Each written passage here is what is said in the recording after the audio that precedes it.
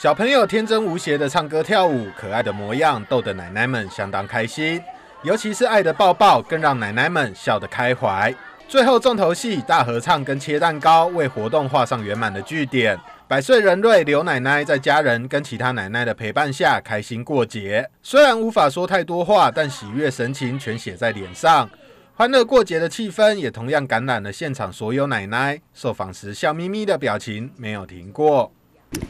当然不一样啊，因为每次过母亲节呢，除非到社区啊、大众场所啊，因为今天是来到我们这些住户，我就特别高兴，因为。我呢，很少有碰到过一百岁以上的阿妈，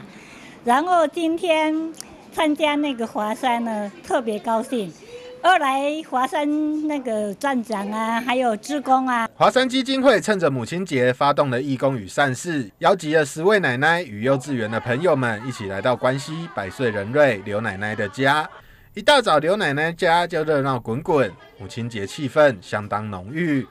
那其实，在我们这母亲节的前十天，我们新竹县市动员了所有的站长、跟义工，还有善事，我们总共送了四百六十位的奶奶。我们期望就是说，呃，奶奶可以就是在节庆的时候，能够就是也能够备受关怀。那今天特别就是在我们一百零二岁关西镇奶奶的家里面，然后邀请了我们关西还有竹东的一个琼岭的奶奶到现场，然后跟我们一起同欢。我们的奶奶们其实看到小朋友的一个到来其实他们对于这样的一个热闹的画面，其实是他们平常家里所没有的。所以其实我们对于这样的一个节节庆的一个祝福，其实对我们来说，我们真的觉得很重要，因为这是他们生命中一个很重要的一天跟意义。